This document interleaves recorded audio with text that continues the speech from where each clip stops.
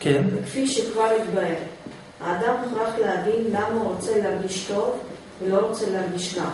נכון? והאדם מוכרח... כן, כן. והאדם מוכרח להבין למה הוא רוצה צורה אחת של המציאות יותר מאשר צורה אחרת.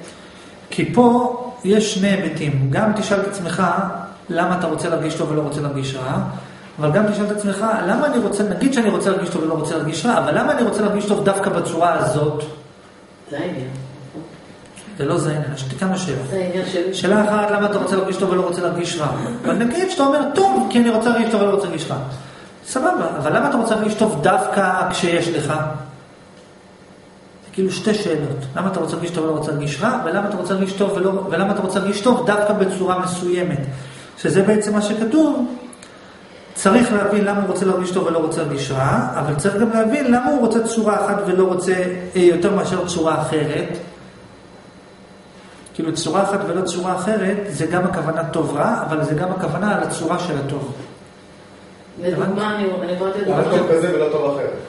בדיוק. אין לי בעיה שאתה רוצה להרגיש טוב ולא רוצה להרגיש רע, אבל למה אתה רוצה, למה אתה אומר שזה טוב וזה רע? אין בעיה, תגיד אני רוצה רק טוב, אבל למה אתה רוצה שיהיה לך טוב רק בצורה הזאת?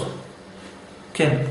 לדוגמה, אה, בא לי משהו מתוק, בא לי לאכול, ואני רוצה דווקא שוקולד, לא רוצה כן, למה? בדיוק, למה? נכון, נכון, זו בדיוק השאלה. אם תביני את זה, אתה צריך לגרום לאנשים לרדת במשקל. אולי, אבל לפחות תביני למה לא יורדים. כן, אני יודע, ברור, נכון. כן. כי מה שהסברתי לה קודם זה רלוונטי גם לגבייך. כי היא נגיד מתווכחת עם אימא שלה, ואת מתווכחת עם הלקוח שלך. הוא אומר אני רוצה לאכול, את אומרת אל תאכל, ואז יש ויכוח, את חייבת להבין, אני חייבת להבין למה הוא רוצה, למה, למה הוא חייב לאכול את השוקולד, למה לא הוא חייב תפוח? אם תביני את זה, זה... תצליחי להסביר לו את זה. כן. וכאן התבהר, כאן התבהר